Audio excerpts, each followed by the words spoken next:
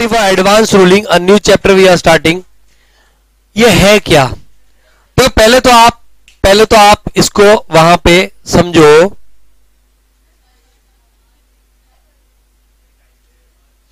पहले तो आप इसको पूरा सा तोड़ करके समझो। रूलिंग का मतलब क्या होता है? डिसीज़न रूलिंग का मतलब क्या होता है? डिसीज़न बराबर है। और अगर कोई डिसीज़न एडवांस में लिया जाए, अगर कोई डिसीज़न क्या लिया जाए? एडवांस में लिया तो उसको क्या बोलेंगे? एडवांस रूलिंग क्या बोलेंगे इसको एंड वो एडवांस में डिसीज़न देने के लिए सेंट्रल गवर्नमेंट ने एक अथॉरिटी फॉर्म कर रखा है. सेंट्रल गवर्नमेंट ने क्या फॉर्म कर रखा है? एक अथॉरिटी फॉर्म कर रखा है.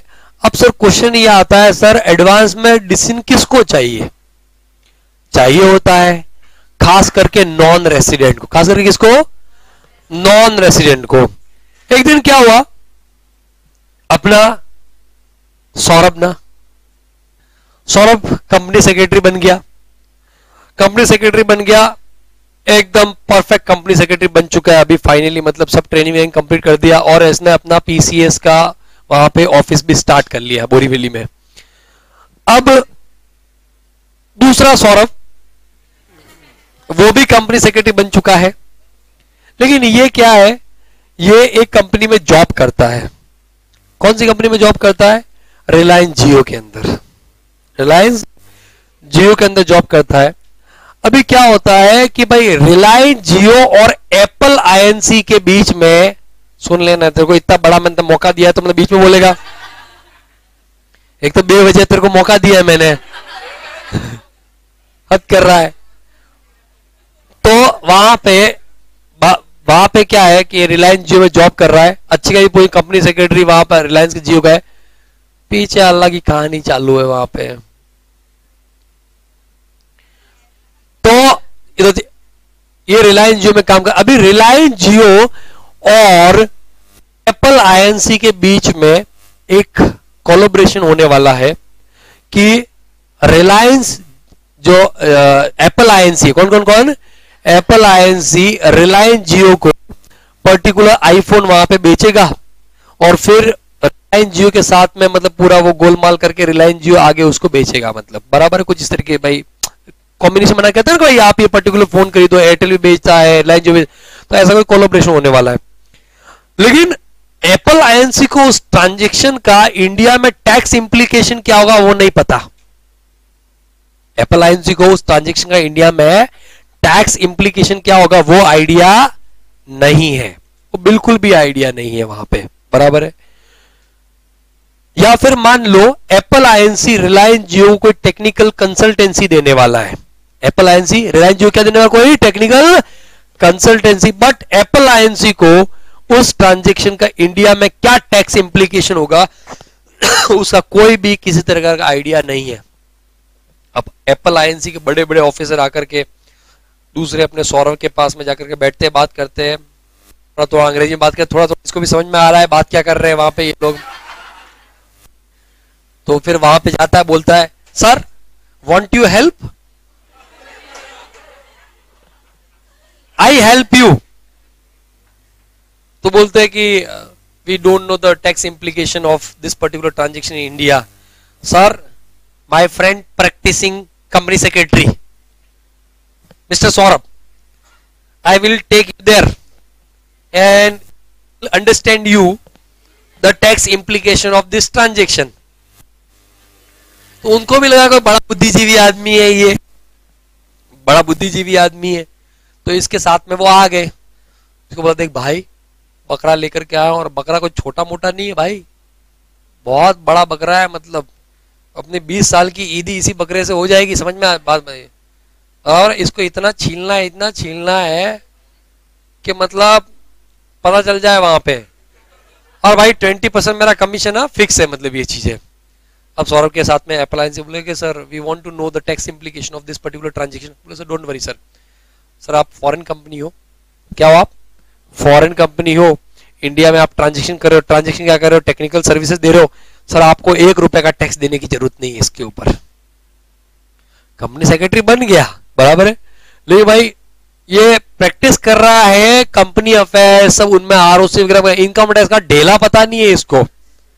लेकिन आया हुआ क्लाइंट कौन जाने देगा बे? जाने देंगे क्या वहाँ पे? बोले, एक बार आया तो इसको बिठा के रखेंगे, बाद में देखेंगे ना जो होना है वो होगा। एक बार तो पहले इनको बोलो, सर, आप जो ट्रांजेक्शन कर रहे हो, सर, एक रुपए का टैक्स आपको देने की ज़रूरत sir it is fully exempt sir Modi ji ने फुल्ली एग्ज़ाम कर रखा है सर बराबर है? बोले, पक्का? कोई सरचार्ज वगैरह? बोलो, no sir, no surcharge, no health and education cess, nothing nothing, करो ट्रांजेक्शन बिंदास. अब इसकी टेक्निकल कंसल्टेंसी के भरोसे बराबर है। उस बेचारे ने ट्रांजेक्शन कर अभी इनको कोई मतलब नहीं है, इसको पैसा कमाना है भाई दोनों को। बराबर है? उस बेचारे ने एप्पल आईएनसी ने ट्रांजेक्शन कर लिया। और फिर फाइनली एक साल, दो साल ट्रांजेक्शन करने के बाद में एप्पल आईएनसी तो उसी इम, आ, क्या बोलते उसी इंप्रेशन में था कि मूवी टैक्स भरना ही नहीं है वो टैक्स भर ही नहीं रहे वहाँ पे। फाइनली एओ जब असेसमेंट करता है अबे तुम फॉरेन कंपनी हो क्या हो? फॉरेन कंपनी कितना वहाँ पे चालीस टका टैक्स लगेगा? सरचार्ज लगेगा कितना परसेंट फाइव परसेंट जो भी मतलब टू फाइव परसेंट जो भी सरचार्ज लगेगा आपका बराबर है? Plus health and education cess कितना? फोर परसेंट ये तो बेसिक टैक्स हो गया। प्लस अभी तुमने इतना टाइम मतलब चूना लगाया है तो पेनल्टी प्लस इंटरेस्ट प्लस रहना खाना भी फ्री हो सकता है। प्रोसिक्यूशन भी हो सकता है हाँ क्या ना? अब वो एप्पल आई तो मारा गया बेचारा। इनकी टैक्स कंसल्टेंसी के चक्कर में। समझ में आ रहा बात मतलब? तो कई, ये तो मैंने एक फालतू एग्जांपल दिया, ऐसा होता नहीं है। मतलब एप्पल आईएनसी मतलब इन लोगों से कंसल्टेंसी लेने के लिए आएगा। फालतू बातें कर रहे हो सर बट कहने का मतलब ये है, क्या ये दो लोग इनकम टैक्स डिपार्टमेंट के लोग है क्या? गवर्नमेंट के लोग है क्या? ऑथराइज लोग है क्या? नहीं ना। तो हो सकता है कभी कभार कोई नॉन रेसिडेंट इंडिया में कोई ट्रांजेक्शन कर रहा है और वो ट्रांजेक्शन की वजह से उसका जो टैक्स इंप्लीकेशन हो रहा है, वो उसको आइडिया ही नहीं हो या कंफ्यूजिंग हो। क्लियर है ये चीज़ वहाँ पे? कि भाई फ्यूचर में क्या होगा, किस तरीके से होगा? तो वो जानने के लिए, बाद में जाकर कोई प्रॉब्लम ना हो, कोई लिटिगेशन ना कोई इश्यूज़ ना हो, वो जानने के लिए वो रूलिंग ले सकता है इन एडवांस रूलिंग ले सकता है इन एडवांस किसके पास में? अथॉरिटी किसके लिए? For advance ruling A R authority for advance central government ने अथॉरिटी सेट कर रखा है अथॉरिटी फॉर एडवांस उसके पास में एडवांस में रूलिंग करेगा कि सर अप्लायंस बोलेगा कि सर ए आर को अप्लाई करेगा, उसका प्रॉपर फ़ीस होता है फ़ीस फ़ीस पे करने का प्रॉपर प्रोसीजर होता है उसका, और वो प्रोसीजर फॉलो करने के बाद में ए आर को बोलेगा, सर, मैं ये पर्टिकुलर ट्रांजेक्शन कर रहा हूँ। बराबर है? सर, इसके क्या टैक्स इंप्लीकेशन होंगे इंडिया में? प्लीज़ आप मुझे बता दो एडवांस में बता दो। आप मुझे इसको एडवांस में बता दो। समझ में आ रहा बात मतलब? फिर ए आर अपना एक ऑर्डर पास कर देगा कि भाई ये ट्रांजेक्शन का ये पर्टिकुलर टैक्स इंप्लीकेशन होगा या इस तरीके से होगा और फिर वो बाइंडिंग ऑन हो जाएगा। किसके ऊपर? उस पर्टिकुलर ने वो लिया है एंड बाइंडिंग ऑन हो जाएगा उन इनकम टैक्स अथॉरिटीज के ऊपर जो कि जूरिस्डिक्शनल है। क्या है? जूरिस्डिक्शनल है। बस यही इस चैप्टर के अंदर है। यही चैप्टर के अंदर है वहाँ पे। तो आ जाओ वहाँ पे। सबसे पहले authority for advance ruling A A R ruling means decision ruling means क्या? Decision having a binding effect decision having a binding effect and advance ruling में decision taken in advance a decision taken by this authority shall be binding on the income tax department that means on AO assessing के ऊपर तो binding on होगा ही होगा। साथ में बता मैंने jurisdictional income tax authority jurisdictional income tax क्यों बार बार बार बार जुरिस्डिक्शनल इनकम टैक्स अथॉरिटी बोलता हूँ वहाँ पे? क्योंकि बॉस मैंने अगर रूलिंग लिया है, बराबर है? तो मेरा जो एओ है, मेरे जो इनकम टैक्स अथॉरिटीज है, बराबर है? वो उनके ऊपर अप्लाई होगा, ना कि गुप्ता जी के एओ गुप्ता जी के इनकम टैक्स अथॉरिटीज पे अप्लाई होगा। समझ में आ रहा बात मतलब? अगर इनके एओ इनके इनकम टैक्स अथॉरिटीज के ऊपर अप्लाई करना है तो गुप्ता जी को भी क्या लेना पड़ेगा? एडवांस रूलिंग अथॉरिटी पर वहाँ पे ऑर्डर लेना पड़ेगा। क्लियर है ये चीज़ वहाँ पे? Okay in order to provide income tax related clarification to non resident an in an authority call A R authority for advance ruling was set up by central government with from first June 1993 ninety matter कोई फ़र्क नहीं पड़ता date wait का। Accordingly non resident assessee could make an application to A R seeking clarification about tax liability just introduction है, इधर कोई underline वंडरलाइन करने की ज़रूरत नहीं है। His tax liability and other connected aspect आज पड़ा हुआ घिसने का पेन मतलब ये चीज़ है वहाँ पे। ठीक connected aspect arising out of any past और एनी फ्यूचर ट्रांजेक्शन अंडरटेकिंग और propose to be undertaken in India ये अंडरलाइन कर लो। क्या चाहिए बे?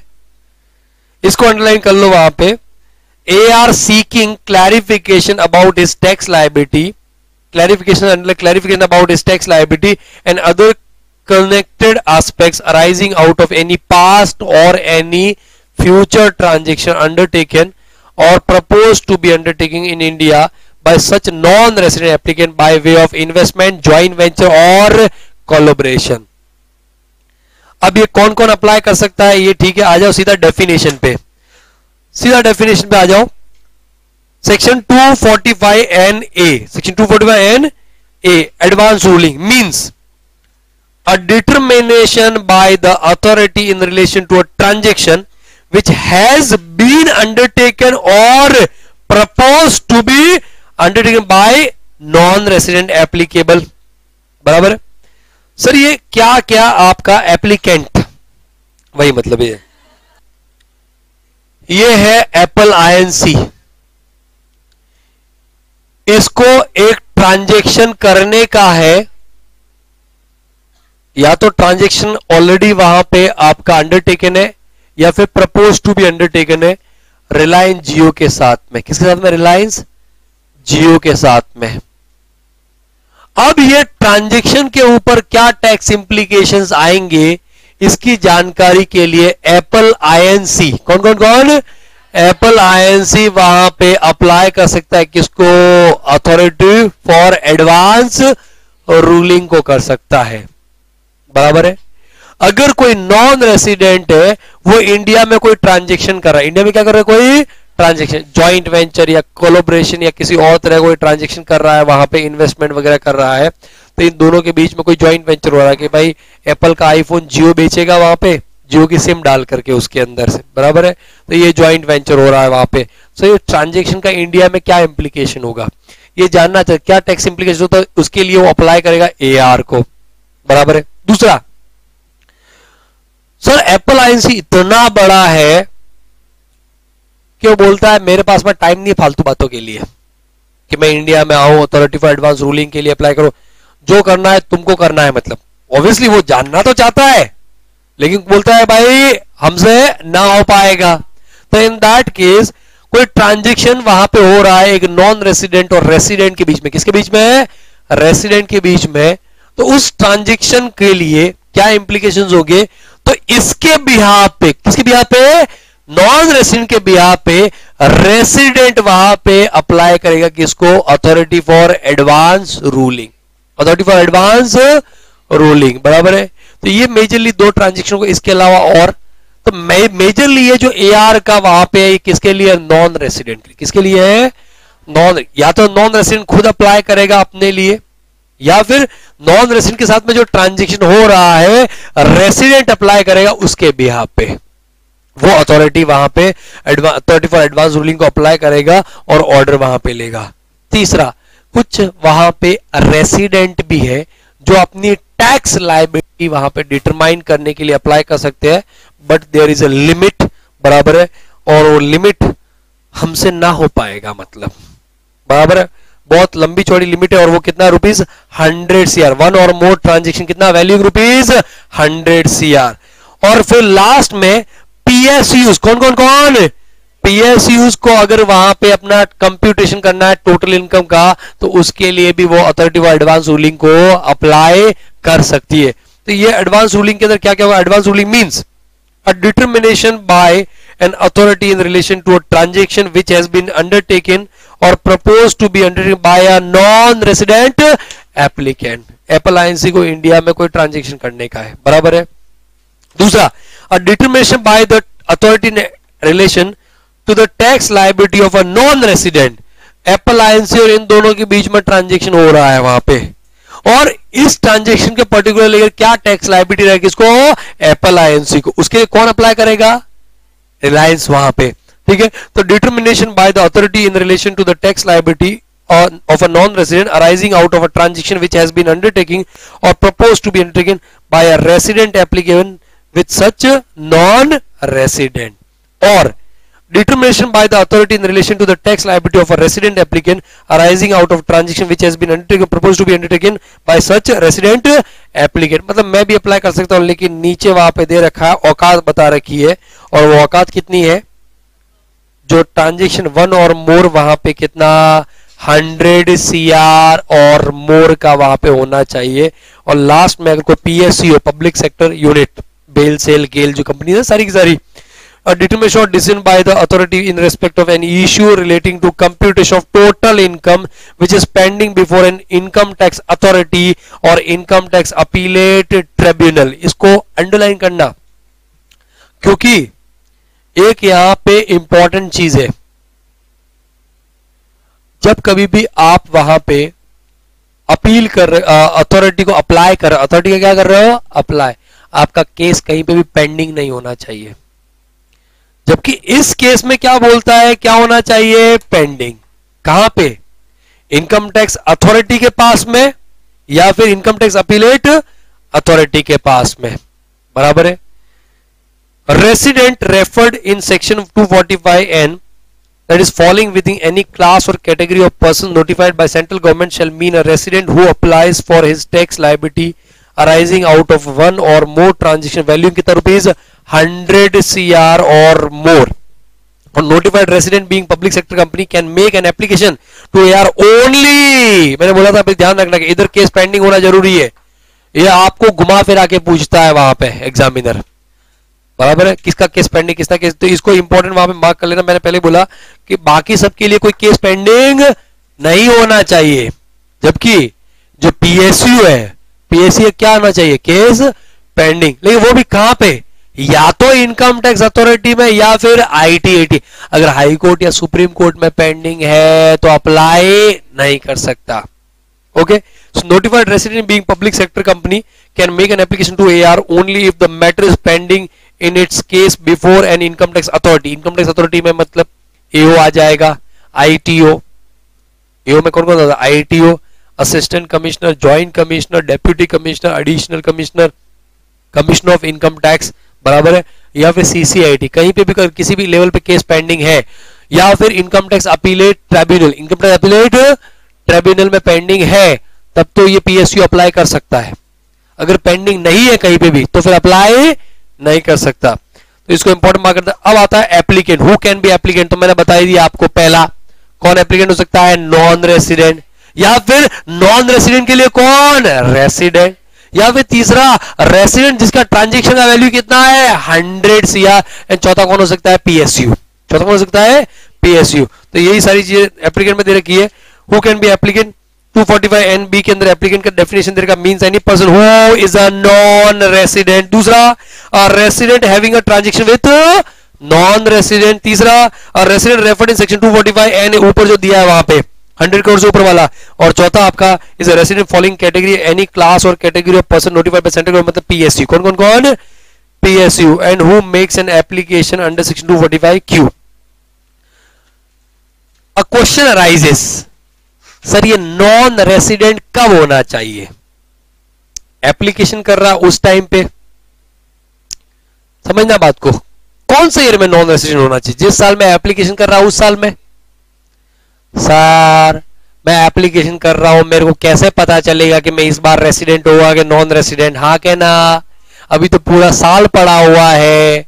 Stay in India for one अगर मैं इंडिविजुअल की बात करूँ stay in India for one eighty two days और more in the relevant previous year or stay in India for 60 days or more in the relevant previous year and stay in India for 365 days or more in four immediate preceding हाँ कहना तो यार इस साल में मान लो मैं अभी तक एक सौ सत्तर दिन रह चुका हूँ, और अभी चार महीने और बाकी है, दो महीने और बाकी है।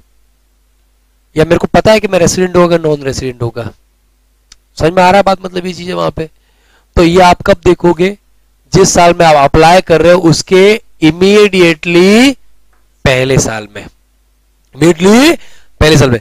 A question arises about the non-resident applicable, applicant here is that at what point of time should be should he be non-resident answer a non-resident applicant should be non-resident in the year immediately preceding the year in which he makes an application and not necessary in the year of making application if he makes an application in previous year 1819 then he should be non-resident in india for previous year 1780 मतलब sir वो 1819 में resident है चलेगा क्या चलेगा चलेगा non resident कब होना ज़रूरी है इमीडिएटली पहले मतलब 1718 में। सर 1718 में रेसिडेंट है और 1819 में अप्लाई कर रहा है। नहीं चलेगा। बराबर है?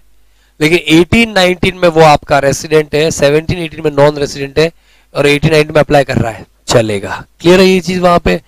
ओके नेक्स्ट आता है कॉन्स्टिट्यूशन ऑफ़ ए आर एक नंबर के क्वेश्चन के लिए अगर पूछ सके तो पूछ ले, इतना इंपॉर्टेंट नहीं बट क्या कौन कौन होते हैं वहाँ पे? तो A R been constitute by central government and shall comprise of the following chairman कौन हो सकता है?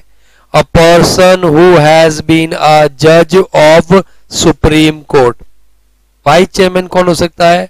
A person who has been a जज ऑफ़ हाई कोर्ट मेंबर कौन कौन हो सकता है? Shall be the revenue member from Indian revenue services मतलब कोई कमिश्नर लेवल का ऑफिसर आईआरएस आईआरएस बराबर है? आईआरएस कौन होते हैं? इंडियन रेवेन्यू सर्विसेज़ जो मतलब जो इनकम टैक्स डिपार्टमेंट में असिस्टेंट कमिश्नर एडिशनल लेकिन assistant commissioner additional joint commissioner नहीं। कौन से लेवल का? कमिश्नर और सीसीआईटी ठीक है? Revenue member from Indian revenue services who is principal CCIT और सीसीआईटी और प्रिंसिपल डीजीआईटी और डीजीआईटी सॉरी कमिश्नर भी नहीं, उसके ऊपर का। सीसीआईटी डीजीआईटी डायरेक्टर इनका फुल फॉर्म पता है क्या तुम लोगों को? Chairman chief chairman of international transaction अच्छा ये भी बता दो। ये बता दो कि चीफ है कि चीप है? नहीं, पता chief chairman of international transaction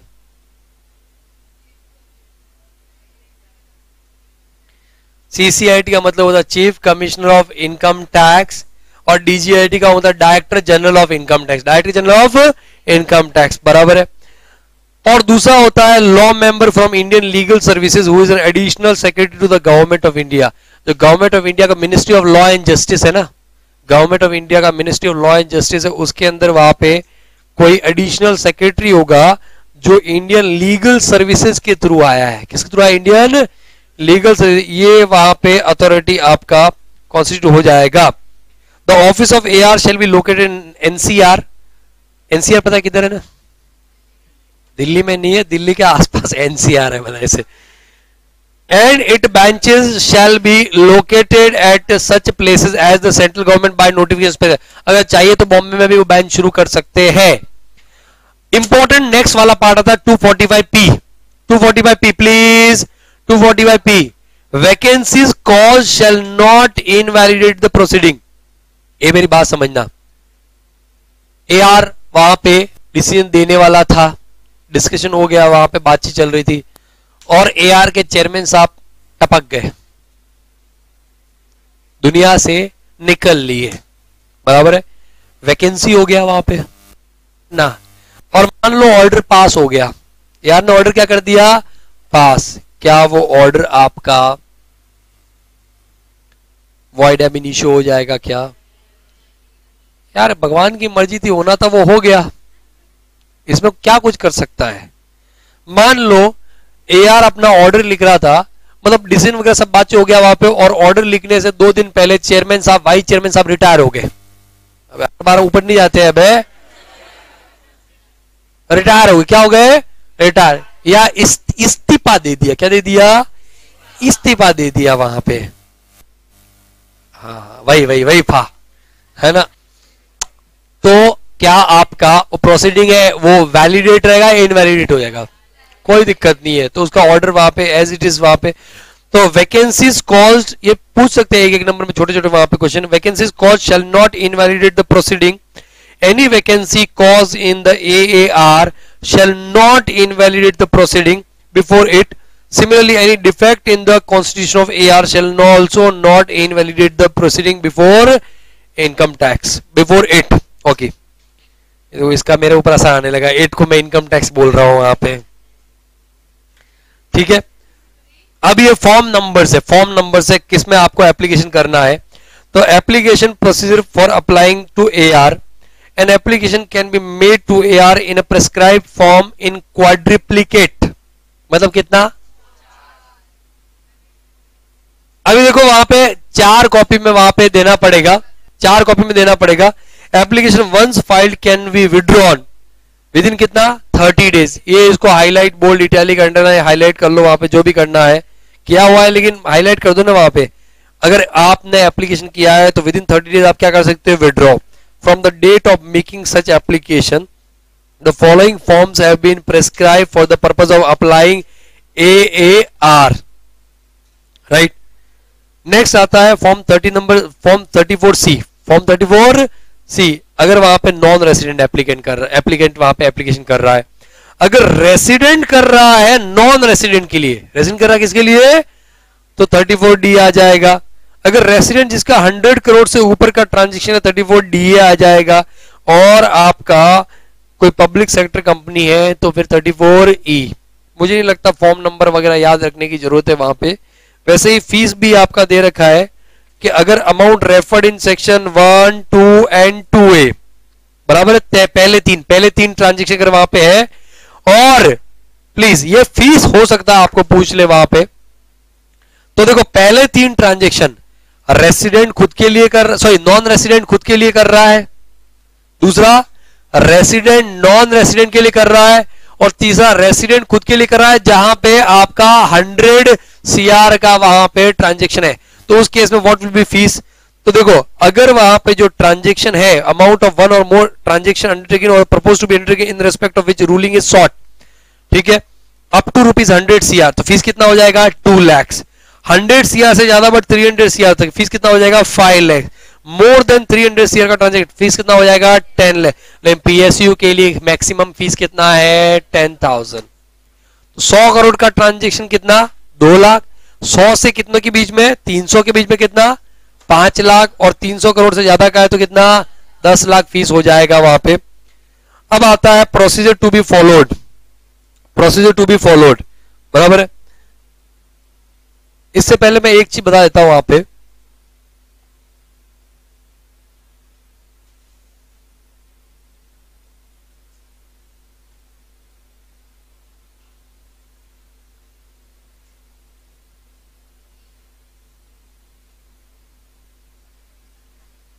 दे रखा है कि नहीं दे रखा है?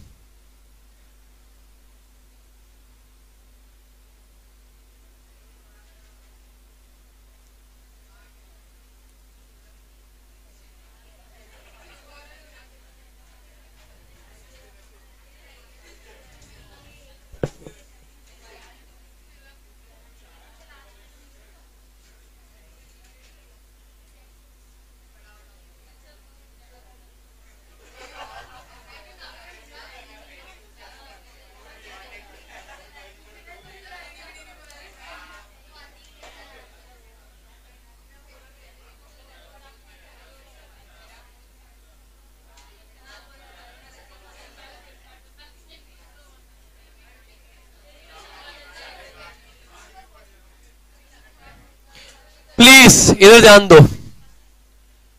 अगर आपका एप्लीकेंट पीएसयू है, क्या है? पीएसयू है, बराबर है? और अगर उसका केस पेंडिंग है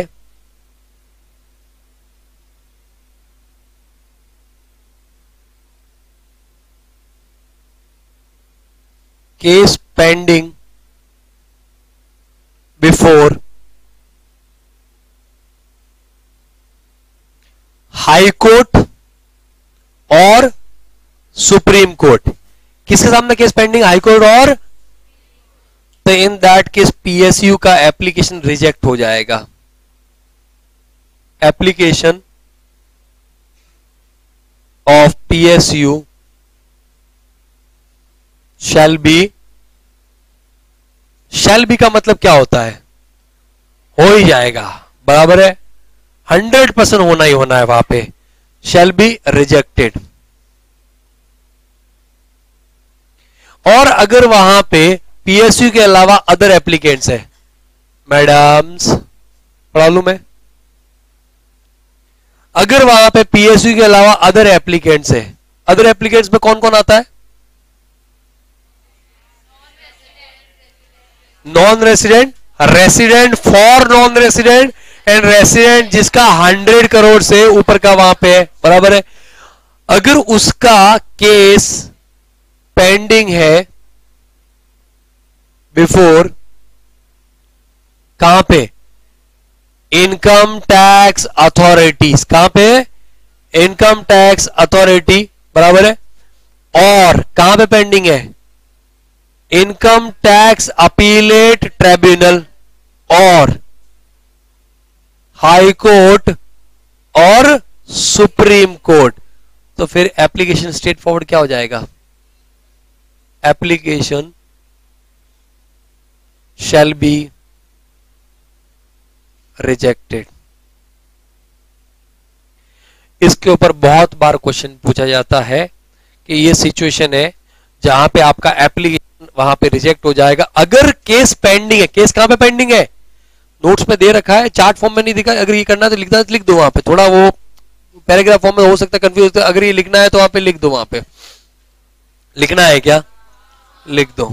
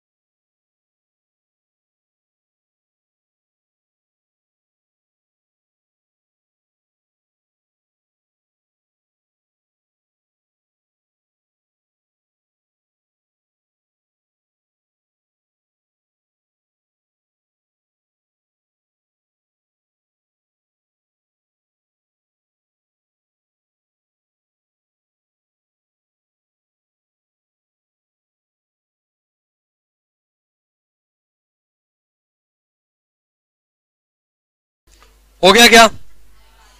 चलो।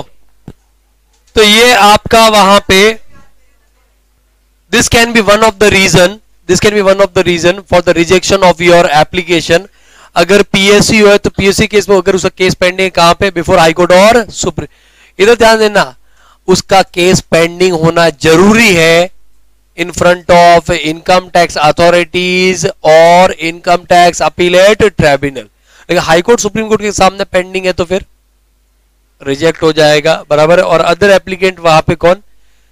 अगर है तो उनका केस कहीं पे भी पेंडिंग है, कहीं पे भी पेंडिंग है, चाहे इनकम टैक्स अथॉरिटी ट्रिब्यूनल या फिर high court supreme court state forward क्या हो जाएगा? रिजेक्ट बराबर अब आ जाओ वहाँ पे प्रोसीजर के ऊपर। रिजेक्शन के दो और रीजन है जो हम लोग डिस्कस करेंगे वहाँ पे, ठीक है? उससे पहले हम प्रोसीजर डिस्कस कर लेते हैं वहाँ पे सेक्शन 245 आर के हिसाब से। तो देखो, सबसे पहले आप क्या करोगे? अप्लाई करोगे एआर को। प्रेस्क्राइब जो भी फॉर्म नंबर जो दे रखे हैं, उनके अंदर वहाँ पे अलॉन्ग विद जो भी फ़ीस है, उसके साथ में क्वाड्रिप्लेट वहाँ पे फॉर्म क्वाड्रिप्लेट क्या बोलते हैं उसको? चार सेट के अंदर, चार सेट के अंदर आप वहाँ पे जमा करोगे जो भी फॉर्म नंबर वगैरह है। वो जब आप सेट कर, चार सेट के अंदर जमा करोगे तो एआर क्या करेगा? एक कॉपी वहाँ पे भेजेगा, जो आपका कंसर्न सीआईटी है। कंसर्न कौन? जो commissioner of income tax concern CIT उसको भेजेगा, भाई, पता करके बताओ इसका रिकॉर्ड विकॉर्ड क्या सिस्टम है, इसका रिकॉर्ड विकॉर्ड, हमको भी तो दो वहाँ पे। जो भी आपका कंसर्न सीआईटी है, बराबर है, उसको वहाँ पे एक एप्लीकेशन फॉरवर्ड करेगा। फिर सीआईटी क्या करेगा कि अगर वहाँ पे उसके पास में जो भी रिकॉर्ड्स वगैरह है, वो किसको दे देगा? एआरओ किसको दे देगा? और फिर उनके रिकॉर्ड्स वगैरह के बेसिस पे ए आर डिसाइड करेगा कि भाई हमको एप्लीकेशन को आगे बढ़ाना है या क्या करना है, खत्म करना है। हो सकता है सीआईटी बोले, भाई साहब, ये तो फ्रॉड आदमी है। भरोसा नहीं है इसका मतलब। गंदे गंदे ट्रांजेक्शन कर रखे इसने सारे के सारे वहाँ पे। एकदम गंद मचा रखी है वहाँ पे। मत एंटरटेन करो इसको वहाँ पे। एप्लीकेशन क्या हो जाएगी? रिजेक्ट क्या हो जाएगी? रिजेक्ट बराबर है? तो ये इसी तरीके से वहाँ पे आगे बढ़ेंगे। Procedure to be followed by AR. The following procedure will be followed after the receipt of the application by AR. Please, upon receipt of application from assessee, one copy thereof will be forwarded to AR to the concerned CIT having jurisdiction over the case.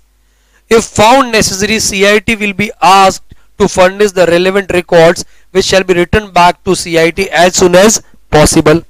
After scrutinizing the application of the assessee and verifying the records received from CIT, AR will either allow or reject the application of the assessee by way of passing an order in writing करना पड़ेगा बराबर है वहाँ पे application अगर आप reject करना चाहते हो तो बाकायदा एक ऑर्डर पास करके उसको रिजेक्ट करना पड़ेगा but don't you think reject करने से पहले principle of natural justice follow होना चाहिए हाँ क्या ना?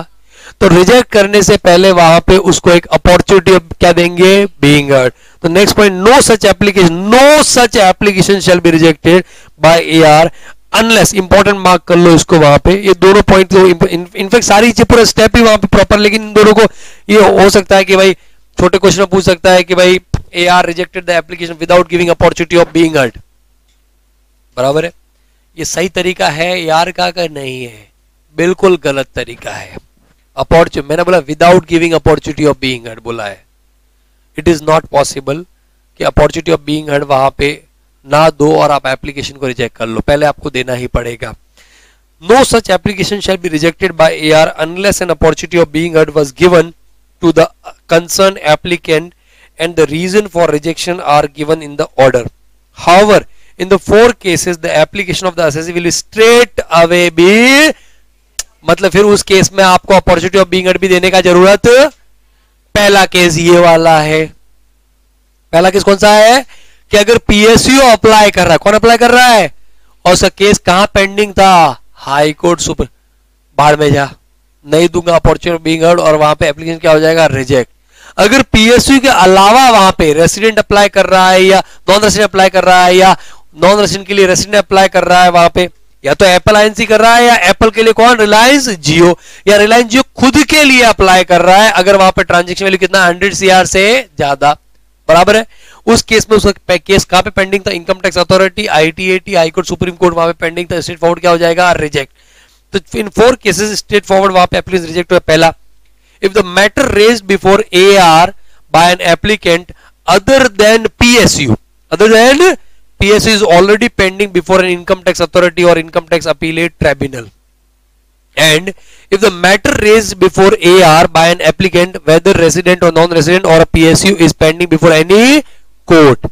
बराबर है तो मैंने इसको सिंप्लीफाई करके थोड़ा सा इस तरीके से वहाँ पे समझा दिया आपको कि किसका पेंडिंग पीएसयू का पेंडिंग नहीं होना चाहिए हाई कोर्ट सुप्रीम कोर्ट में और इनका तो कहीं पे भी पेंडिंग नहीं होना चाहिए समझा के नहीं तीसरा if the matter is raise before A R involve competition A A R कौन बैठा है ए आर में? जरा बताना तो। सुप्रीम कोर्ट का रिटायर्ड जज हाई कोर्ट का रिटायर्ड जज एक कमिश्नर चीफ कमिश्नर लेवल का ऑफिसर एक additional secretary government of India का ऐसा आदमी।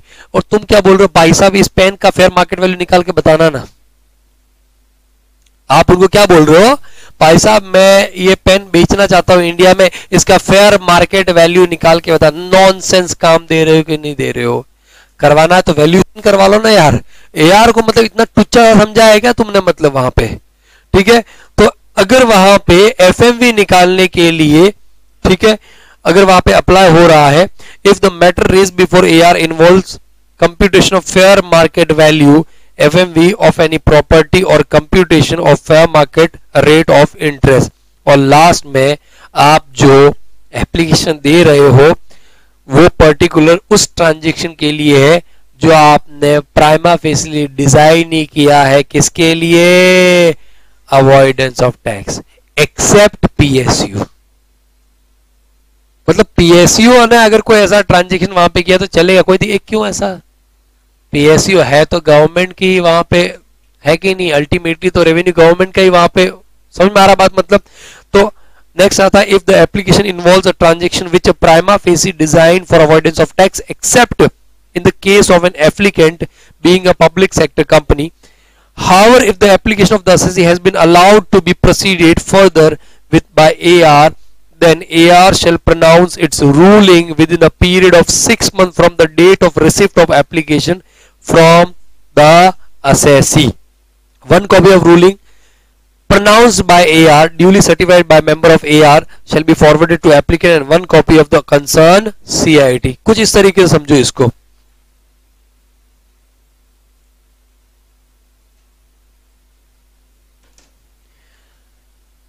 ये है आपका एप्लीकेंट ये एप्लीकेंट कोई भी हो सकता है ये आपका एप्लीकेंट रेसिडेंट हो सकता है पहला नॉन रेसिडेंट हो सकता है रेसिडेंट फॉर नॉन रेसिडेंट हो सकता है रेसिडेंट हिमसेल्फ अगर उसका ट्रांजेक्शन वैल्यू थाउज़ेंड करोड़ से सॉरी थाउज़ेंड नहीं हंड्रेड करोड़ से ज़्यादा है, या फिर कौन हो सकता है पीएसयू वो अप्लाई करेगा, किसको अप्लाई करेगा?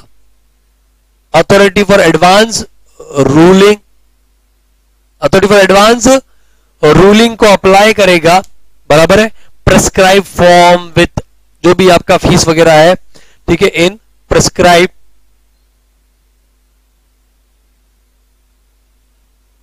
form along with fees in four set correct ना? अभी यहाँ पे एआर के पास में एप्लीकेशन आ गया तो एआर क्या करेगा? Commissioner of income tax commissioner of jurisdictional जो उसका, किसका? Jurisdictional commissioner of income tax बराबर है? ये किसका जूरिस्डिक्शनल है? एप्लीकेंट का। बराबर है? उसको वहाँ पे एप्लीकेशन फॉरवर्ड करेगा।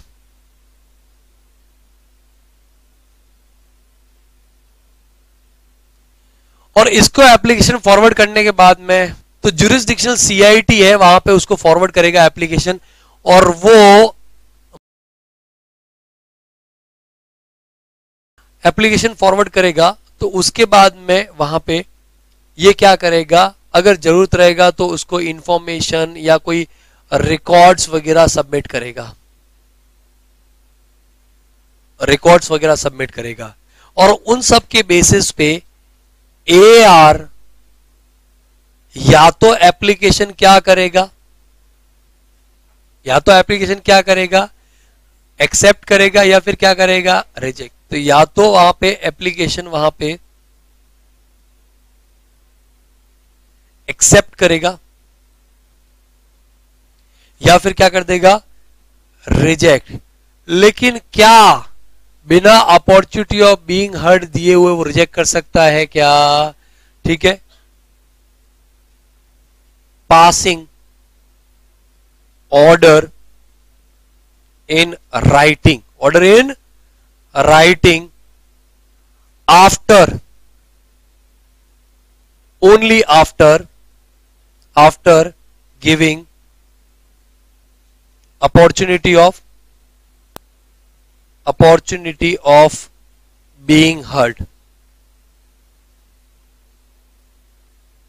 to the applicant, to the applicant. लेकिन अगर एक बार एप्लीकेशन एक्सेप्ट कर लिया, एक बार एप्लीकेशन एक्सेप्ट कर लिया तो फिर वहाँ पे क्या करना पड़ेगा? ऑर्डर फाइनल ऑर्डर पास करना पड़ेगा। Final order shall be shall be passed with कितना कितना मंथ के अंदर? Within six month from from six month from date of six month from date of receipt of receipt of application बराबर है? तो क्योंकि देखो इसको तो तभी पता चलेगा ना जब एप्लीकेशन हाथ में आएगा। हाथ में आएगा, उसके एप्लीकेशन की डेट से इंपॉर्टेंट नहीं है, इसके रिसिप्ट की डेट से इंपॉर्टेंट है। तो उसने जिस दिन उसको एप्लीकेशन को रिसीव किया है, उस दिन से छह महीने के अंदर, अगर एप्लीकेशन एक्सेप्ट हुआ है तो उस दिन से कितना महीने के अंदर? छह महीने के अंदर सिक्स मंथ के अंदर वहाँ पे ऑर्डर पा अगर मैं इसको इस तरीके से दिखू, इसने अप्लाई किया ऑन सपोज़ एक डेट ले लेते हैं वहाँ पे। डेट ले लेते हैं पंद्रह आज क्या डेट है बोलो ना? ट्वेंटी फोर्थ फैब 2020 को अप्लाई किया। लेकिन इसको एप्लीकेशन मिला application received application received twenty ninth Feb 2020 twenty nine Feb 2000 तो सिक्स मंथ कहाँ से? यहाँ से। तो मतलब आपका मार्च फेब के बाद में मार्च अप्रैल, मई, जून, जुलाई अगस्त बराबर है? तो आपका क्या हो जाएगा? Till thirty first August two thousand twenty तक इसको ऑर्डर पास करना पड़ेगा। और एक कॉपी किसको जाएगा? वन कॉपी तो इसके पास में चला जाएगा ऑर्डर का, और एक कॉपी किसके पास में जाएगा? एक कॉपी चला जाएगा वहाँ पे सीआईटी को। बराबर है? ये पूरा का पूरा आपका प्रोसीजर है। ठीक है? So if you like feel कि भाई ये अच्छे से समझ में आएगा तो उसको कॉपी करना चाहते हो तो कर लो वहाँ पे, कोई दिक्कत नहीं है। अदरवाइज़ तरीके से तो दे ही रखा है वहाँ पे।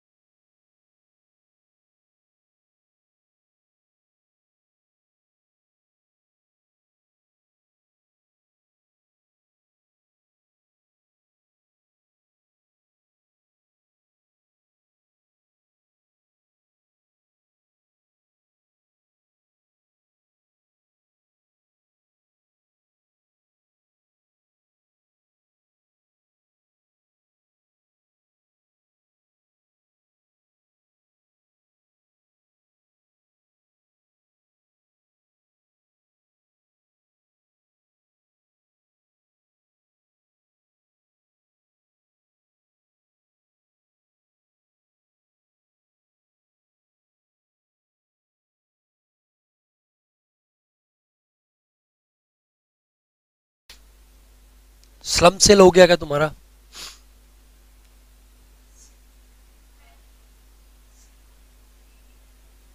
कैपिटल गेन्स में। अरे, अभी की बात कर रहा हूँ मैं। तो जिनेश सर ने क्या क्या करवाया तुम लोगों क्या करवाया? एएमटी करवाया मैट करवाया। सारे हेड्स ऑफ़ इनकम तुम्हारे अप्लाई अप्लाई नहीं होता है ना इतना? सर ने क्या करवाया? एएमटी हो गया मैट हो गया। उसके अलावा और? डिविडेंड डिस्ट्रीब्यूशन टैक्स हो गया डीटी हो गया, और?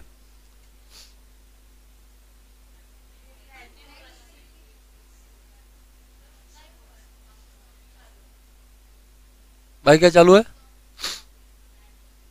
अच्छा मैट के क्वेश्चन चालू है।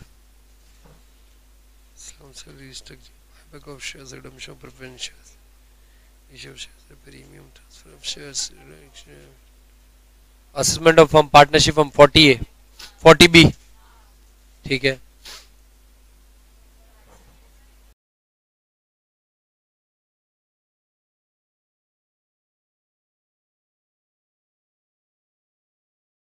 अस्सी कंपनी मैट हो गया ना वो?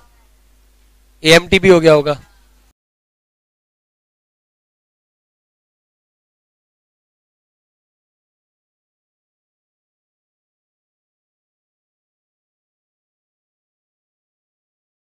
ये लीजिए। हो गया ये? हो गया क्या ये? कॉपी हो गया? पीछे? कॉपी हो गया? डन ओके सो छह महीने में आपको ऑर्डर पास करना। One copy of the ruling pronounce by A R duly certified by member of A R shall be forwarded to the applicant and one company one copy of the concern CIT income section 245 R income tax authority not to be proceed further को इतना important नहीं है। ठीक है? जो PSU ना PSU PSU case में case pending होना चाहिए। कहाँ पे? इनकम टैक्स अथॉरिटीज या आईटीएटी में। लेकिन जब एआर अपने हाथ में मैटर लेगा तो केस वहीं पे रोक दो। थांबा। बराबर है? वही चीज़ बोल रहा इतना इंपॉर्टेंट नहीं है। A notified resident applicant PSU has made an application to AR, then no income tax authority or ITT shall proceed further in the matter to decide the case. क्योंकि इन सबका बाप है AR जो इनकम टैक्स अथॉरिटी उन सबका क्या है बाप है यार पप्पा है वहाँ पे तो उनसे आगे अपने को बढ़ के बात नहीं करनी है 245s very important very important many times question इसके ऊपर पूछा जाता है एक तो देखो सेक्शन 245 एन इंपॉर्टेंट है 245 एन मतलब कब एप्लीकेशन होगा और एप्लीकेंट कौन होगा वहाँ पे? दूसरा 245 जो आर है, अपना प्रोसीजर है प्रोसीजर उसके पूछते हो समटाइम क्यू पे भी पूछ लेते हैं, जो बेसिकली फ़ीस वगैरह क्या होती है उसके ऊपर। ओके तो 245 S is very important to एक काम करो इंपॉर्टेंट मार्क करी दोनों। 245 एक तो एन आ गया। एन का ए एन बी दोनों पार्ट मतलब एडवांस रूलिंग क्या है वो और एप्लीकेंट कौन होगा वो वहाँ पे। दूसरा 245 क्यू क्यू के अंदर मतलब जो फ़ीस एंड ऑल है, वो मतलब सारी चीज़ें वहाँ पे इंपोर्ट हो जाती है। 245 आर समटाइम्स मतलब प्रोसीजर वो पूछेंगे, ये पूरा प्रोसीजर आपको समझ में आ गया है वहाँ पे। Okay and 245 S very important सबसे ज़्यादा इंपॉर्टेंट है। Binding nature of ruling pronounce by A A R मैं ए आर का कॉपी लेकर के आया ऑर्डर का कॉपी लेके आया ए आर का। बराबर है? गुप्ता जी बोलते हैं कि भाई, मैं भी सेम ट्रांजेक्शन सर वहाँ पे कर रही हूँ इंडिया में करने वाली हूँ। सर आपका जेरोक्स दे दो ना मेरे को। कलर जेरोक्स करवा लेती हूँ वहाँ पे। क्या वो भी उस बाइंडिंग को वहाँ पे जो रूलिंग है उसको यूज़ कर सकती है क्या? No this is not justice in rem this is justice in persona this justice in persona similarly मेरी जो इनकम टैक्स अथॉरिटीज है, बराबर है, उनके ऊपर बाइंडिंग हो जाएगा वहाँ पे। लेकिन क्या वहाँ पे गुप्ता जी उनकी इनकम टैक्स अथॉरिटीज के ऊपर बाइंडिंग होना होगा क्या? नहीं। जो कंसर्न जो इनकम टैक्स अथॉरिटीज है, वहाँ पे उनके ऊपर बाइंडिंग होगा। तो वहाँ पे और, मैंने मान लो कोई पर्टिकुलर ट्रांजेक्शन मान लो मैं मार्कर वहाँ पे बेचने का ट्रांजेक्शन कर रहा हूँ तो उसका मैंने रूलिंग लिया है। इस पर्टिकुलर ट्रांजेक्शन का जो रूलिंग होता है, वो लिया है। मैं दूसरा ट्रांजेक्शन कर रहा हूँ फ़ोन खरीदने का। क्या ये वाला रूलिंग जो है, क्या इसके ऊपर अप्लाई कर सकता हूँ? नहीं कर सकता। बस यही चीज़ है वहाँ पे। ठीक है, पहला क्या बोलता है? Binding nature of ruling pronounce by AR unless there are changes in the हाँ आपने रूलिंग लिया और लॉ में निर्मला सीतारमण जी ने क्या कर दिया? अमेंडमेंट भाड़ में गया आपका रूलिंग बराबर है? सो unless there are changes in law or fact based on which the ruling was pronounced, the ruling pronounced by AR shall be binding on किसके ऊपर? द एप्लीकेंट हु रूलिंग लिखा हुआ justice persona the transaction in which in in respect of which the ruling has been pronounce marker बराबर है तो आगे में marker अगर बेचने का करता तो उसके लिए ट्रांजेक्शन लेकिन अगर मैं मोबाइल फ़ोन को अगर कोई बेचने का ट्रांजेक्शन करना चाहिए तो उसके लिए मेरे को अलग से रूलिंग लेना पड़ेगा। उसके लिए मेरे को अलग से रूलिंग लेना पड़ेगा। और तीसरा the concern commissioner of income tax and all the income tax authority subordinate to him in relation to the said applicant and the said transaction समझ में आ रहा बात? मतलब ये चीज़ है। तो ये इंपॉर्टेंट हो जाता है। फिर आता है ruling to be void ab initio अगर धोखाधड़ी से फ्रॉड से मिस रिप्रेजेंटेशन से आपने रूलिंग लिया है तो। Refer pronouncing its ruling if subsequently comes to knowledge of A R that अच्छा एक चीज़ और। अगर मान लो आपने एप्लीकेशन किया, किसके लिए? एडवांस रूलिंग के लिए एप्लीकेशन किया तो आप ऑब्वियसली जब एप्लीकेशन करोगे तो बहुत सारे डॉक्यूमेंट सबमिट करोगे फर्निश करोगे यस और नो और ए ने अपना रूलिंग भी दे दिया बेचारे ने छह महीने के अंदर। लेकिन साल भर बाद में पता चलता है कि भाई जो आपने रूलिंग लिया है ना वो तो धोखे से ही लिया है।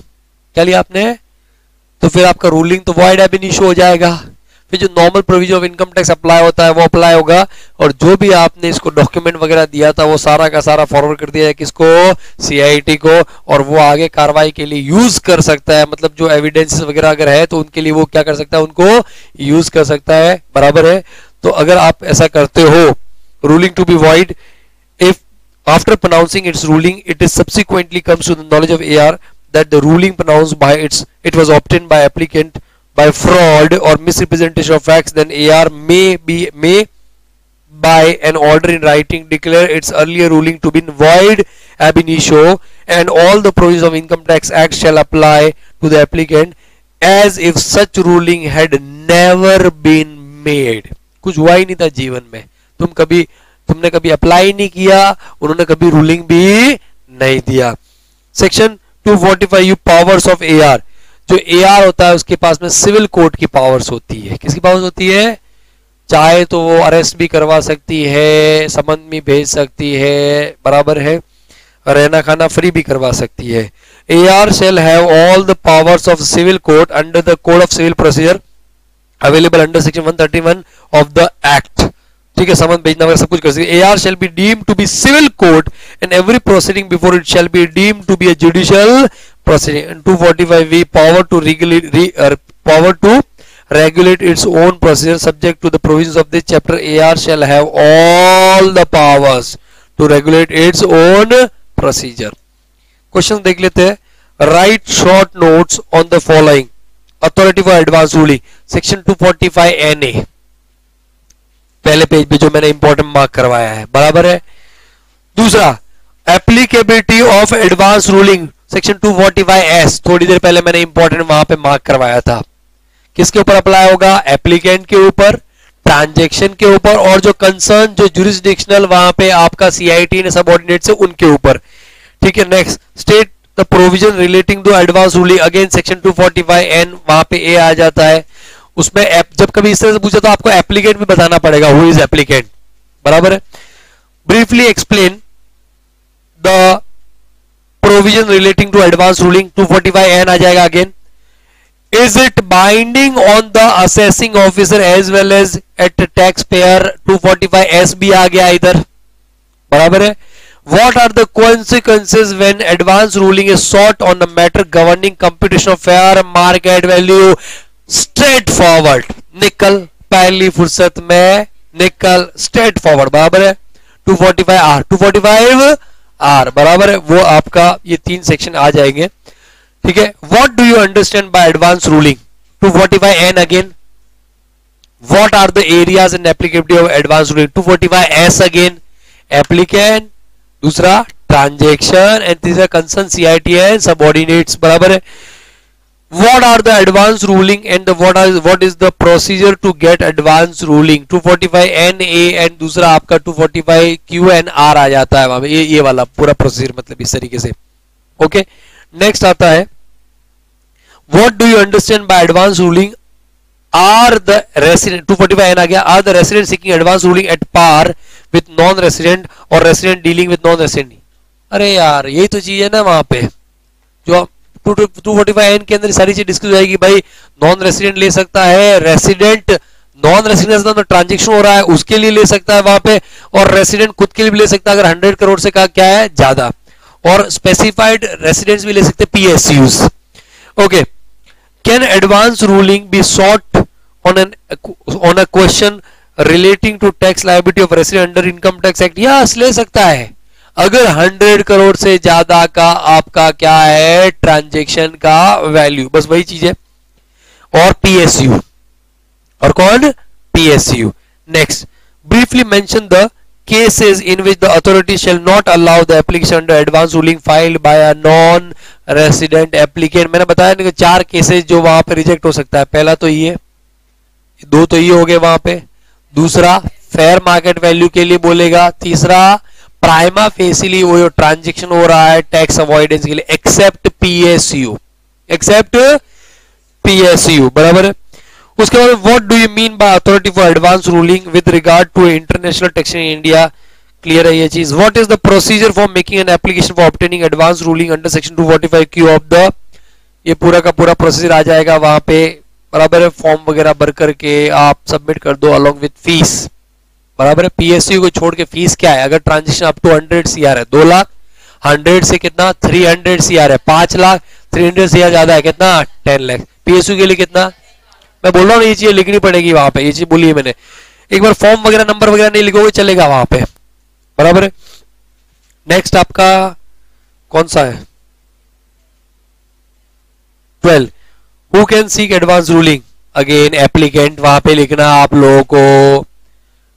Non resident resident for non resident resident for tax liability transaction value exceeding rupees hundred Siya and specified resident PSU बराबर for computation of total if इस case is pending before ITAT and income tax authorities okay so ये चीज़, ये ध्यान रखना पड़ेगा।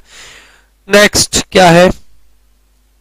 Can a resident assessee claim that the advance ruling obtained by his brother ये गुप्ता जी वाला भी बोला था ना वहाँ पे brother in respect of a similar issue faced him is uh, applicable to him also. Will such a ruling to be बोलो sir आप मज़ाक करते हो कि सच में मतलब क्वेश्चन की बात करते हो? मैं तो मज़ाक ही करता हूँ इंस्टीट्यूट भी मज़ाक कर लेता है मतलब ये चीज़ है वहाँ पे। बराबर? जो मज़ाक मैंने गुप्ता जी वाला भी किया था वो ये मज़ाक कर रहा है वहाँ पे। कितने का नंबर का मज़ाक था ये?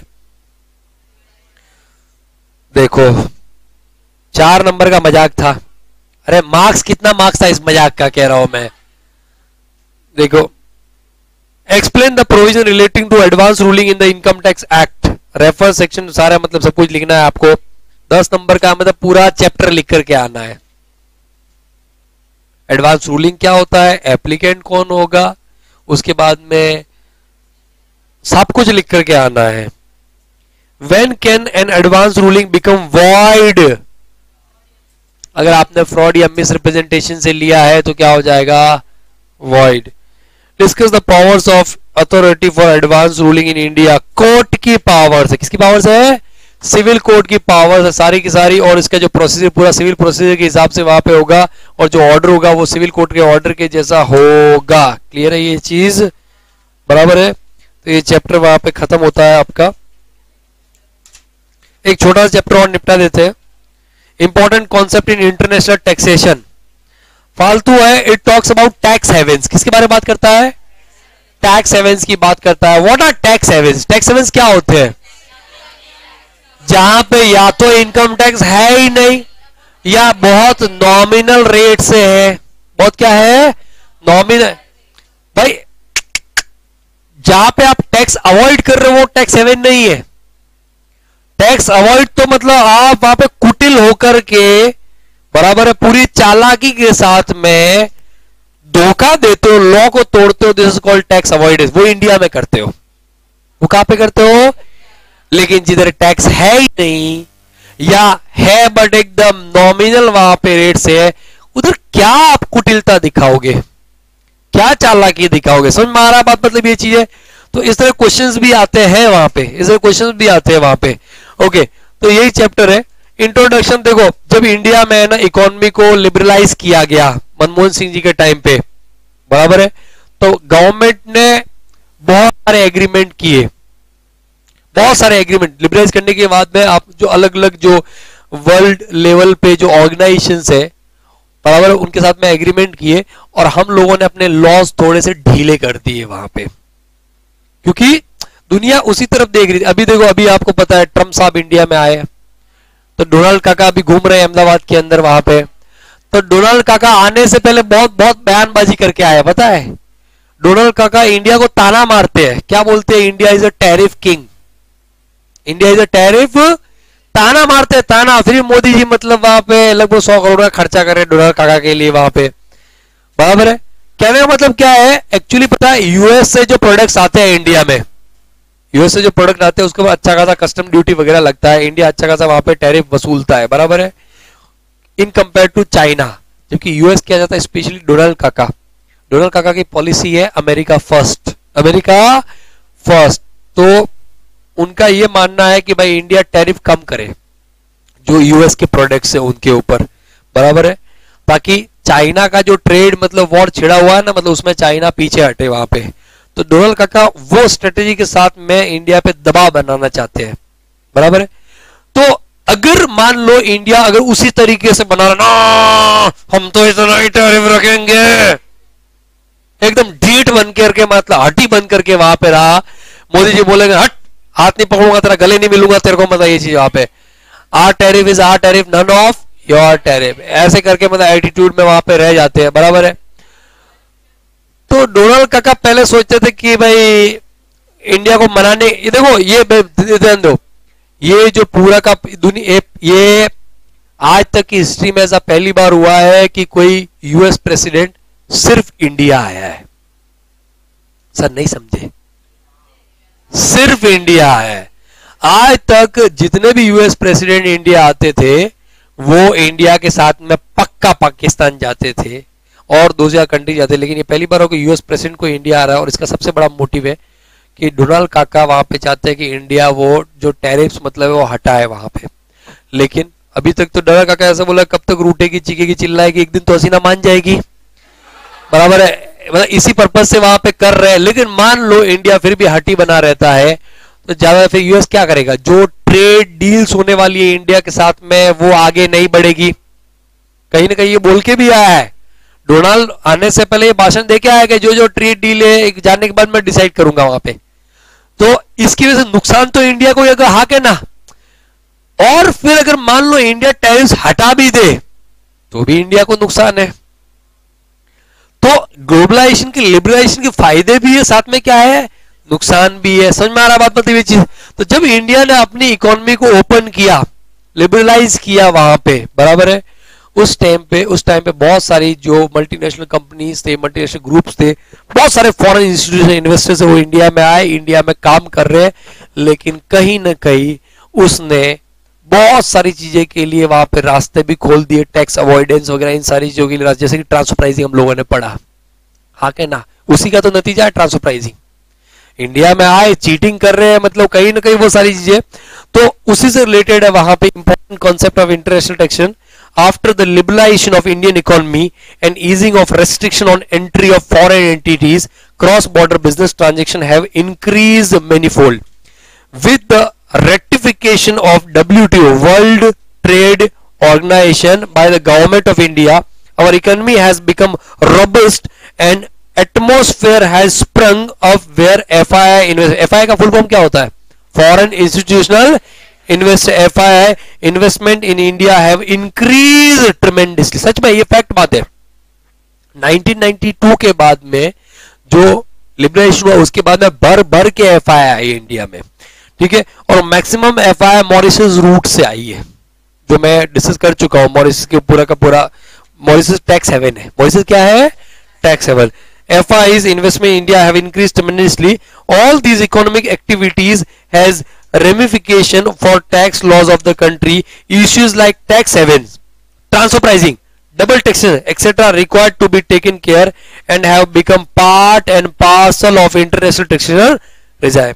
ये तो इंट्रोडक्शन था ठीक है अभी आता है tax haven a tax haven is a country और a territory where certain taxes are levied at a low rate or not at all. Due to nil or negligible tax rates on some of the countries, individuals and or corporates entities may find it attractive to move themselves to countries with reduced or nil taxation levels. Mukesh Ambani ji क्या करेंगे उनको पता है कि भाई India में मैं particular transaction करूँगा या इंडिया मान लो मैं मैं शेयर मार्केट में पैसा लगाता हूँ तो मेरे को वहाँ पे कैपिटल गेन्स होगा डिविडेंड के ऊपर भी टैक्स लगता है वन वन फाइव बीबीडीए है कि नहीं है बड़ा बड़ा डिविडेंड आया टेन परसेंट टैक्स लगता है, अगर टेन लैख से ज़्यादा वहाँ पे डिविडेंड आता है तो तो क्या करेंगे? यहाँ से पैसा पार्क कर लेंगे मॉरिसस में। मॉरिसस में एक एफ़ बना करके उसको फिर से कहा ले आएँगे इंडिया में। यही चीज़ यही चीज़ तो वहाँ पे होती है ना, जब आप इकोनॉमी ओपन करते तो पूरी दुनिया आपके लिए बाज़ार है। पूरी दुनिया आपके लिए क्या है? जहाँ पे आपको अपने हिसाब से फिजिबल चीज़ें लगेगी, वहाँ पे जाकर के आप काम धंधा करोगे। वहाँ पे जाकर क्या करोगे आप काम धंधा करोगे सो ड्यू टू नील और negligible tax rates on some of the countries individual and or corporates entities may find it attractive to move themselves to countries with reduced or nil taxation level this creates a situation of tax competition among governments different jurisdictional tend to be havens for different types of taxes and for different categories of people and com or companies. The Organization of Economic Cooperation Development OECD identifies four key factors in considering ये important है. ये important है. Considering whether a jurisdictional is a tax haven पहला nil और only only nominal taxes दूसरा production of personal financial Panama से लिया information Switzerland से इंफॉर्मेशन लिया नहीं देते वो लोग. वो लोग इंफॉर्मेशन नहीं देते हैं वहाँ पे। तो protection of personal and personal financial information lack of transparency lack of transparency and limited regulatory supervision इतनी डील है मॉरिशस में वहाँ पे वगैरह। आपको कंपनी बनाना है। इधर तो आप आरओसी मोदी बर्बाद कर दे कंपनी को। क्या क्या फॉर्म भरने पड़ते हैं एनुअल रिटर्न ये वगैरह। क्या ऐसे कोई कंपनी चला सकता है आज की तारीख में? मैंने खुद ना अस्सी हज़ार का पेनल्टी भरा है मतलब एनुअल रिटर्न के ऊपर। सच बता रहा हूँ। कौन से वो एनुअल रिटर्न आते हैं? दो होते हैं ना एम जी टी सेवन और दूसरा कौन सा? एओसी फोर सत्तर अस्सी हज़ार का पेनल्टी भरा है उसके ऊपर। सही बता रहा हूँ मतलब। लॉस में नहीं है बट बाहर दिया, बार दिया बाहर दिया मतलब। एक दोस्त को बोला था कि भाई तू भर दिया कर मतलब ये चीज़। है उसने भरा ही नहीं। बोलता, भरता हो भरता हो भरता हो। ऐसे करके वो फॉर्म बाकी रह गए पेंडिंग रह गए। फिर तो बाद में तो एक जुगाड़ लगा एक फॉर्म का तो डेट आगे पीछे करके पेनल्टी बचा लिया। बराबर है? लगभग एक साल का मतलब पेनल्टी वहाँ पे, एक साल बाद में, एक साल बाद में भरा है मतलब ये चीज़। फिर भी एक साल का ले दे के सब मिला के सत्तर अस्सी हज़ार रुपए हो गया मतलब सारा का सारा वहाँ पे। मैं जान दो वहाँ पे, अभी क्या हो सकता है वहाँ पे। तो ये रेगुलेटरीज इंडिया में है, सारी की सारी। क्या कंपनी चलाना आज की तारीख में कोई खाने का खेल है क्या? आप तो मतलब इतना आपको आइडिया नहीं है। कोलकाता है ना कोलकाता? कोलकाता फर्जी कंपनियों का गढ़ कहलाता है। बराबर है वो कौन सी कंपनीज़ बोलते हैं उनको? शेल कंपनीज़ लिस्टेड कंपनीज़ बराबर है गढ़ कहलाता है कोलकाता. ऐसी ऐसी कंपनी वो लिस्टेड है ट्रेड हो रहा है वहाँ पे कंपनी है ही नहीं, पान के मतलब गल्ले जितना मतलब उसका ऑफ़िस है वहाँ पे. मिलेगा ही नहीं मतलब ये चीज़ें वहाँ पे. लेकिन बाद में जाकर के, मोदी जी के बाद में थोड़ा सा मामला स्ट्रिक्ट हुआ है वहाँ पे उन चीज़ों को लेकर के. बराबर. लेकिन मॉरिस जैसी कंट्रीज़ में आज भी पान के कैबिन जितने वहाँ पे कंपनी का रजिस्टर्ड ऑफ़िस है, आज भी मतलब ये चीज़. कोई रेगुलेटरी इतना मतलब है ही नहीं है मॉरिस वगैरह। मैं बता रहा हूँ, जो जो टैक्स सेवन से उनकी बात कर रहा हूँ वहाँ पे। इतना रेगुलेटरी कोई वहाँ पे इतना बड़ा मतलब ऐसा वो हो हल्ला नहीं है मतलब जो इंडिया में है, जैसे कि। ठीक है? तो ये सारी चीज़ें वहाँ पे, पहला क्या नील और ओनली कितना? नॉमिनल टैक्स है। दूसरा क्या प्रोटेक्शन पर्सनल फाइनेंशियल आप स्विस बैंक में पैसा जमा करवा वो इंफॉर्मेशन नहीं देगा आपकी सरकार को। नहीं देगा। उटक बैठक कर लो, कुछ भी कर लो, पनामा पैसे माओ। ये लीक हो जाए वो बात अलग है पेपर्स कहीं से वगैरह। पनामा पेपर पनामा ने नहीं दिए थे। वो लीक हुए थे। क्या हुए थे? लीक हुए थे। पनामा ने वो इंफॉर्मेशन शेयर नहीं किया। The protection of personal financial information lack of transparency and limited regulatory supervision that's it, बस बात खत्म। क्वेश्चन आया हुआ एग्ज़ाम में देख लो वहाँ पे क्या है एक तो। State with the reason in brief whether the following statement are correct or incorrect a tax haven is a country where there is a lot of scope of tax evasion ए, यार जहाँ पर टैक्स ही नहीं है सीधे India में तो समझ में भी आता है इंडिया में तो भर भर के टैक्स है मो, Modi ji basically crime master Gogo है टैक्स की दुनिया के कौन है क्राइम मास्टर जो आते हैं तो कुछ ना कुछ क्या करते हैं, लेके जाते हैं। क्राइम मास्टर गोगो पता है तुम लोगों को? जो आके निकाले गोटिया खेलता है, गोटिया। मोदी जी वो है, आए, उसका डायलॉग है, आया हो तो कुछ ना कुछ। मोदी जी भी टैक्स की दुनिया के क्राइम मास्टर गोगो है मतलब ऐसे है। और आज की तारीख में मैं बोलू, सच बोलू तो इंडिया में टैक्स टेररिज्म चल रहा है। टैक्स टेररिज्म चल रहा है, सच में बता रहा हूँ मैं ये चीज़ वहाँ पे। ठीक है? तो जहाँ पे टैक्स ही नहीं है एविजन की तो बात ही नहीं आती है वहाँ पे। तो इनकरेक्ट है। Incorrect a tax haven is not a country where there is a lot of scope for tax evasion but a tax haven is a country or territory where certain taxes are levied at a low rate or not at all a question or what are the factors to be considered in taking decision whether a country is a tax haven or not ये four के factors जो ऊपर दे रखे हैं ना पहला nil और only क्या nominal taxes protection of personal financial information lack of transparency and limited regulatory supervision बराबर है? हो गया चैप्टर रिवाइज कर लेते हैं। सबसे पहले हमने पढ़ा था लिमिटेशन ऑफ़ इंटरेस्ट क्या पढ़ा था? या एक काम कर ले स्पेसिफाइड डोमेस्टिक ट्रांजेक्शन कर ले क्या? कर ले क्या स्पेसिफाइड छोटा सा ये, चलो हो जाता है।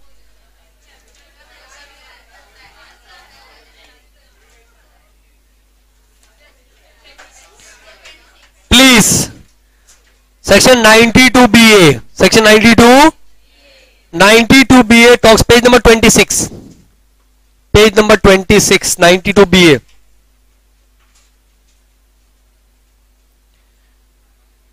मिला सबको? स्पेसिफाइड डोमेस्टिक ट्रांजेक्शन देखो, आपको क्वेश्चन आएगा एप्लीकेबिलिटी ऑफ़ ट्रांसफ़र प्राइसिंग कहाँ पे एप्लीकेबल होगा? International transaction deemed international transaction, बराबर है? एनजे वाला केस है तो कौन सा वाला केस है? देखो, पहला आपका एप्लीकेटिव ट्रांसफ़र है कहाँ पे? पहला तो आपका if there is international transaction और इंटरनेशनल ट्रांजेक्शन कब होता है तो उसका proper definition it is between two associate enterprise at least one और ऑल क्या होना चाहिए? Non resident it is transaction बराबर है? डीम इंटरनेशनल ट्रांजेक्शन हमने डिस्कस किया वहाँ पे। एक विजय ले गया है ए दूसरा किंग फिशर है वहाँ पे। एंटरप्राइजेस वो किंग फिशर वहाँ पे बियर किसको दे रहा था? हाँ, सौरभ को दे रहा था बराबर है। लेकिन सौरभ का और वहाँ पे विजय माल्या का क्या था? Prior agreement terms and condition decided था। तो ये ट्रांजेक्शन क्या कहलाएगा? डीम इंटरनेशनल ट्रांजेक्शन बराबर है। तो एक तो transaction international transaction transfer apply हो जाएगा। दूसरा डीम इंटरनेशनल ट्रांजेक्शन है तो अप्लाई हो जाएगा। तीसरा अगर वहाँ पे एनजे कौन सा कौन सा कौन सा? एनजे के जो सिटीजन उनके साथ में ट्रांजेक्शन तो भी अप्लाई हो जाएगा। चौथा कब अप्लाई होगा? स्पेसिफाइड डोमेस्टिक ट्रांजेक्शन देखो, पहले जो ट्रांसफ़र का स्कोप था, वो इंटरनेशनली था। वेदर इट इज़ इंटरनेशनल और डीम्ड इंटरनेशनल और एनजे लेकिन फिर स्कोप को बड़ा करके बाद में क्या किया गया कि चीटिंग तो इंडिया में भी हो सकती है। चीटिंग तो कैसे हो सकती है, समझना बात? प्रैक्टिकली इतना जाने की ज़रूरत नहीं है, लेकिन आप एक बार समझ लो वहाँ पे।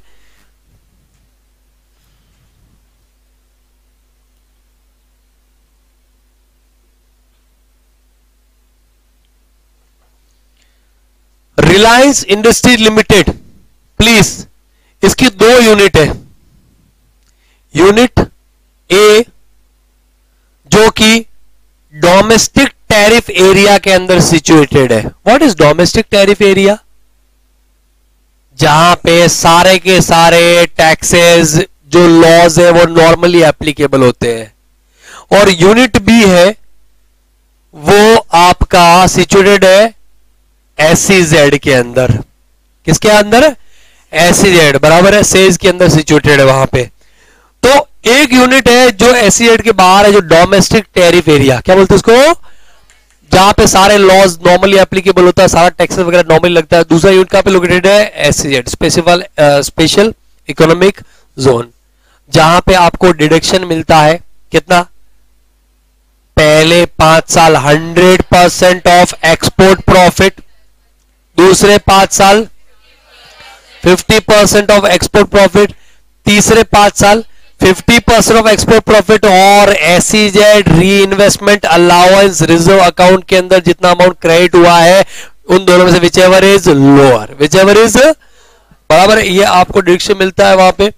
अब देखो, इधर ध्यान देना। ये यूनिट ए है ना कोई प्रोडक्ट बनाता है, बराबर है? और वो उसको एक्सपोर्ट करता है। क्या करता है उसको? एक्सपोर्ट अगर यूनिट ए कोई प्रोडक्ट बना के उसको एक्सपोर्ट करेगा तो इसको क्या कोई टेन डबल का डायरेक्शन मिलेगा क्या? अरे नहीं मिलेगा ना, क्योंकि एस में थोड़ी लोकेटेड है वहाँ पे। हाँ कहना लेकिन अगर यूनिट बी उस पर्टिकुलर चीज़ को एक्सपोर्ट करेगा तो उसको टेन डबल का क्या मिलेगा? डिडक्शन तो इसको बोलूँगा मैं एलिजिबल यूनिट क्या बोलेंगे इसको? एलिजिबल यूनिट और इसको क्या बोलूँगा मैं? नॉन एलिजिबल यूनिट एलिजिबल मतलब किसके लिए? ये है आपका टेन डबल ए के लिए एलिजिबल है। हाँ के ना। तो देखो, मान लो वहाँ पे, नेहा ना। नेहा वहाँ पे यूएस में रहती है और रिलायंस को उसको कुछ सामान एक्सपोर्ट करने का है, जो पर्टिकुलर गुड्स बनाते हैं वहाँ पे। सपोज़ ये डस्टर बनाते हैं वहाँ पे, इसको एक्सपोर्ट करने का है वहाँ पे। अगर यूनिट ए से एक्सपोर्ट होगा तो रिलायंस को कोई फ़ायदा होगा क्या? कोई फ़ायदा? और वही चीज़ अगर यूनिट बी से एक्सपोर्ट होगी तो? एक्सपोर्ट प्रॉफिट का मान लो, पहले पाँच साल है। तो एक्सपोर्ट प्रॉफिट कितना? हंड्रेड परसेंट क्या मिल जाएगा? डिडक्शन तो मैं क्या करूँगा? वो गुड्स किसको दूँगा मैं? यूनिट बी को. और यूनिट बी उसको क्या करेगा आगे वहाँ पे? तो जब यूनिट बी को दूँगा, तब तो उसको तो मैं कॉस्ट टू कॉस्ट दूँगा ना। अरे, देखो सेलिंग प्राइस वहाँ पे एक्चुअली देखा है तो हंड्रेड है। कितना है? हंड्रेड या हंड्रेड एंड टेन हंड्रेड या हंड्रेड एंड टेन लेकिन मैं इसको रुपीज़ टेन में दूँगा, वो और कॉस्ट भी रुपीज़ टेन है। हाँ कहना और ये अब जब इसके लिए सेलिंग प्राइस वहाँ पे टेन है तो इसके लिए कॉस्ट कितना हो गया? टेन और सेलिंग प्राइस सपोज़ वहाँ पे आपका हंड्रेड एंड टेन प्रॉफिट कितना हो गया? हंड्रेड और ये तो आपका क्या हो जाएगा? एग्ज़ाम यस और नो हो गया ना चीटिंग ये वैसा ही चीटिंग है जो हमने स्टार्टिंग में पढ़ा था। कुछ वैसा ही चीटिंग है। यस और नो बराबर है। तो यहाँ पे आपका ट्रांसफ़र प्राइसिंग क्या हो जाएगा? Apply because it is specified domestic transaction it is specified domestic तो कुछ स्पेसिफाइड डोमेस्टिक ट्रांजेक्शन वहाँ पे दे रखे हैं। चार डोमेस्टिक पाँच डोमेस्टिक ट्रांजेक्शन है वहाँ पे। बेसिकली चार ही है, बाकी तो एक ऐसे सीबीटी के लिए डाल देते कि जब कभी तुम्हें लगे स्पेसिफाइड कर दिया करो, हर जगह मिल जाता है। As prescribe as prescribe as prescribe बराबर है?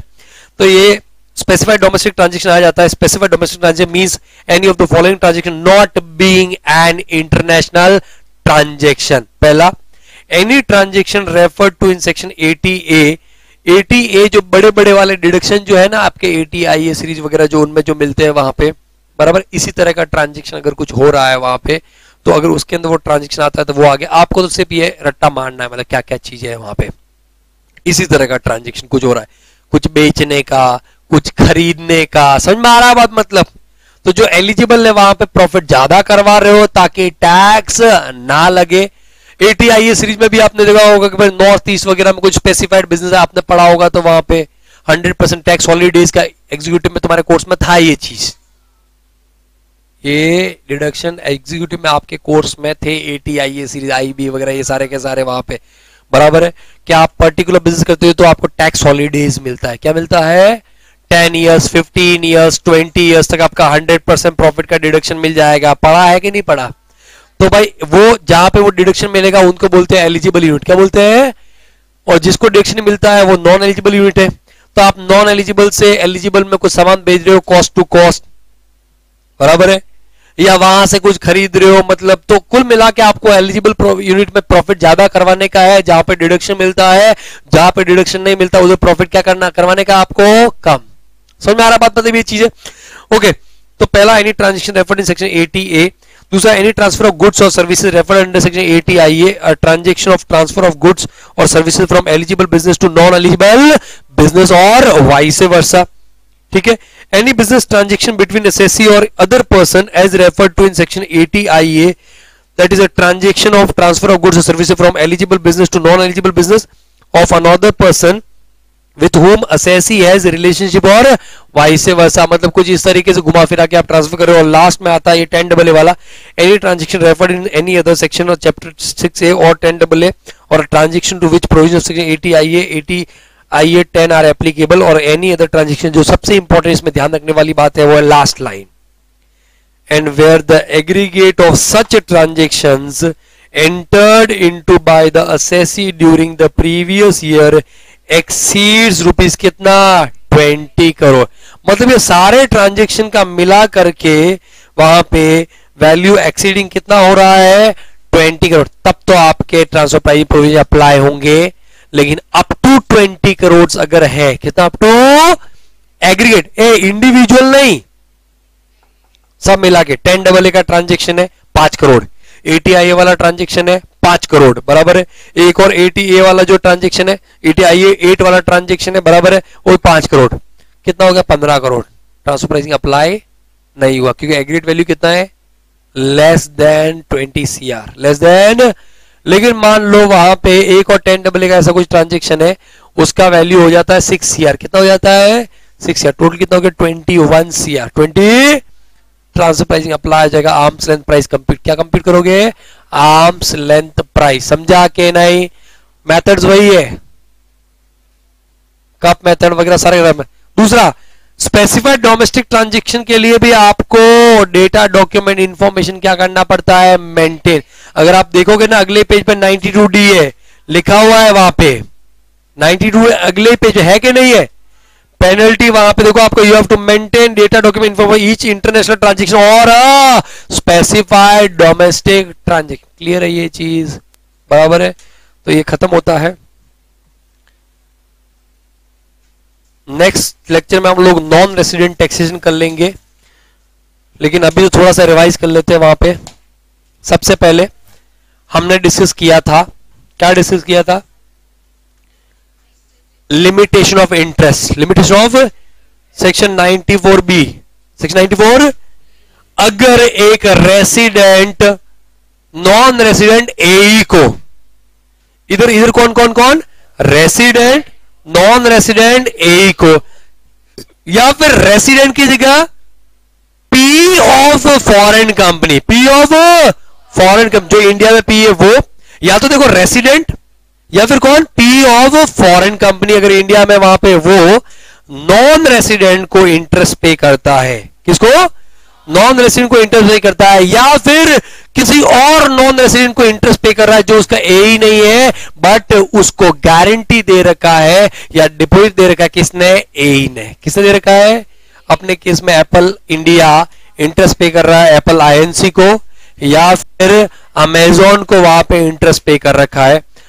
Amazon I N C Amazon जिसको गारंटी दे रखा किसने? एप्पल आईएनसी ने। एप्पल आईएनसी ने या डिपॉजिट दे रखा है एप्पल आईएनसी ने उसी पर्टिकुलर अमाउंट के आसपास का। Provisions of section 94 B shall be applicable और वहाँ पे क्या हो जाएगा? जो इंटरेस्ट है, वो कितना अलाउ होगा?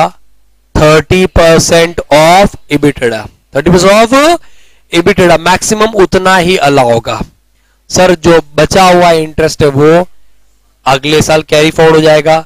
सर अगले साल भी कैरी फॉरवर्ड नहीं हो रहा तो मैक्सिमम एट ईयर्स तक क्या हो सकता है? कैरी फॉरवर्ड एट ईयर्स बाद में क्या हो जाएगा? लापसी क्या हो जाएगा? लापसी बराबर है। उसके बाद में, उसके बाद में सर ये एप्लीकेबल नहीं होगा। अगर वहाँ पे ट्रांजेक्शन जो इंटरेस्ट है कितना है? Up to one year up to कितना? वन ईयर बराबर है। उसके बाद में हमने डिस्कस किया authority for advance ruling advance ruling क्या है? एडवांस रूलिंग क्या है? अगर आप डिसीज़न लेना चाहते हो of a transaction which is undertaking और propose to be undertaking propose to be undertaking उसका टैक्स लाइबिलिटी निकालने के लिए नॉन रेसिडेंट या फिर रेसिडेंट का नॉन रेसिडेंट के साथ में कोई ट्रांजेक्शन हो रहा है और वहाँ पे हो रहा है या हो चुका है अंडरटेकिंग और to be propose to be undertaking propose to be undertaken और उस पर्टिकुलर ट्रांजेक्शन का वहाँ पे टैक्स लाइबिलिटी निकालना चाहता है, या फिर जो स्पेसिफाइड रेसिडेंट है, जिसका जो ट्रांजेक्शन वैल्यू कितना है एक्सीडिंग हंड्रेड सीआर वो अपना टैक्स लाइबिलिटी निकालना चाहता है, या फिर पीएसयू कौन कौन कौन? PSU computation of total income करना चाहता है, जबकि उसका केस पेंडिंग है कहाँ पे? इनकम टैक्स अथॉरिटी के पास में या फिर आईटीएटी के पास में। एप्लीकेंट कौन होगा? Non resident resident for non resident resident खुद के लिए हंड्रेड करोड़ से ज़्यादा वहाँ पे आपका ट्रांजेक्शन वैल्यू है और दूसरा है पीएसयू जिसका केस क्या है? पेंडिंग कहाँ पे? इनकम अथॉरिटी और बराबर है। उसके बाद में नेक्स्ट आता है, इसका वो क्या रहेगा? कॉन्स्टिट्यूशन कैसा रहेगा? तो चेयरमैन होता है, जो सुप्रीम कोर्ट का जज रहा हो वाइस चेयरमैन जो हाई कोर्ट का जज रहा हो, बराबर है। और इंडियन रेवेन्यू सर्विसेज़ से सीसीआईटी या प्रिंसिपल सीसीआईटी डीजीआईटी या प्रिंसिपल डीजीआईटी और वहाँ पे कौन हो सकता है? इंडियन लॉ सर्विसेज़ का वहाँ पे आपका ऑफ़िस है, जो कि भारत सरकार में एडिशनल सेक्रेटरी के पद पे तैनात हो। कोई वैकेंसी होता है, कुछ फ़र्क पड़ेगा? कोई फ़र्क नहीं पड़ेगा। प्रोसीडिंग में या जो आपका ऑर्डर में कोई फ़र्क नहीं पड़ेगा, उसके बाद में आता है आपका प्रोसीजर क्या आता है? एक और चीज़ मिस गया नॉन रेसिडेंट नॉन रेसिडेंट कब देखना है आपको? इमीडिएटली प्रिसीडिंग प्रीवियस ईयर में आपको देखने का है नॉन रेसिडेंट फिर उसके बाद में आता है आपका 245 क्यू, बराबर है प्रोसीजर। प्रोसीजर की बात क्या बोलता है वो?